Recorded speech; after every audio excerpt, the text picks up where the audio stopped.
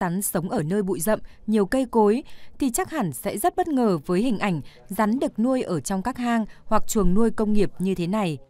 Đây là khu nuôi rắn, ấp rắn của gia đình anh Vũ Mạnh Hùng, xã Vĩnh Sơn. Anh cứ dùng cái bảo hộ lao động thì an toàn và tìm hiểu kỹ về các loài rắn chứ còn không phải là sợ là cứ vào chuồng rắn thì nó cắn. Con rắn nó bò qua chân nó cũng không thể cắn, bò qua tay nó không cắn, nhưng anh làm đau nó nó mới cắn. Rắn là loài bò sát máu lạnh, thân nhiệt, đào bắt rắn độc trong thiên nhiên. Nhưng khai thác trong tự nhiên mãi cũng sẽ hết, họ đã nghĩ ra cách nuôi rắn sinh sản để cung cấp cho thị trường.